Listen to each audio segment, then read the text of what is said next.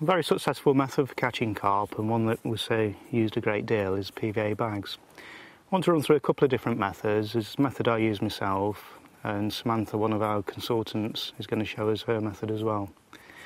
Start off on the, the tarp I like. I do like small PVA bags. I don't like the scenario where a carp is pecking away around the bait with the chance of a mouthful of line. I very much want most of the bait to go in first time. I'll show you the type of bag I've been using quite a bit this season, utilising Maximum Action pellets. Very, very quick dissolved pellet these are. What I do with these though, rather than use them in pellet form, once they're in the bag, I just pour a few in there and all over the table. Once I've got some into the bag, I then crush them up, turn them into a powder form the situation you get from that once you're presenting it on the bottom, rather than lots of pellets there for the fish to pluck away at, with it being down to powder, you just get a cloud effect, and you get the soup effect. Lots of visual stimulation, but not a lot for the fish to eat. Once I've crushed a few pellets in there, normally take a couple of boilies as well. Very often have a couple of full ones, and I'll also break a couple up.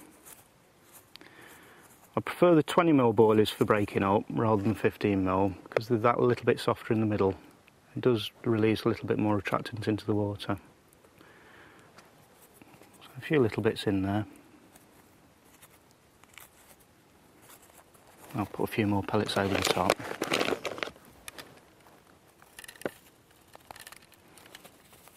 Again, just crush them together. Break down very, very quick they do and straight into the powder effect.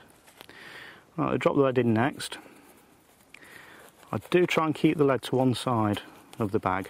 You see a lot of people bury the lead right in the middle of the bag, but keeping it to one side, you know that once that goes into water, the heavy side is always going to go down first. So I know by wherever I put the hook link, I'm not going to be trapping it underneath the lead.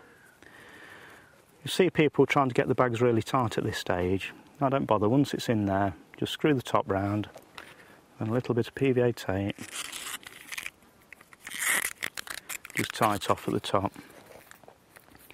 I do find the tape easier to use than the string and it also is a little bit more multi-purpose for stringers and everything else. Just quick double overhand knot on that. Then trim the surplus bits away. Not essential to get rid of this, but just nice to get them a little bit neater.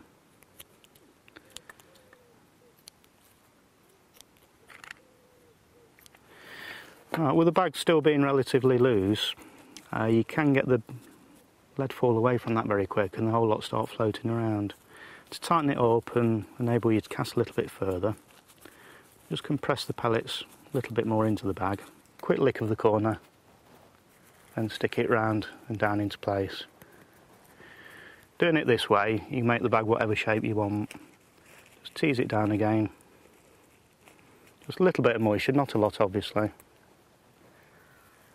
and stick it over. In deepish water, again you get the situation where the lead comes away before everything's hit the bottom. There's ways around that, you can double bag them, you can triple bag them, or another little trick I like to do. Oh, just stick the PVA tape on the side and bind it up.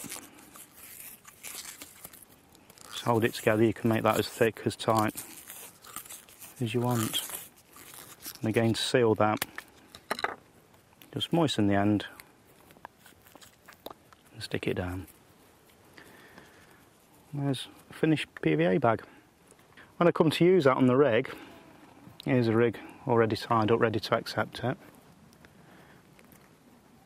Put the eye of the lead, which is protruding out the bag, onto the clip. Little safety rubber in place. And then using a baiting needle, I pass it through on top of the lead so that the line's never going to be trapped. Tease it through there. The needle's hit a boilie there, so just juggle it about so you know you're only going through pellet.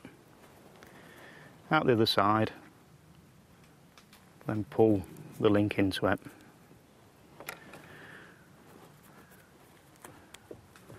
Right, so there's the finished rig, very quick and simple to set up, no chance of tangling loads of attraction for the carp.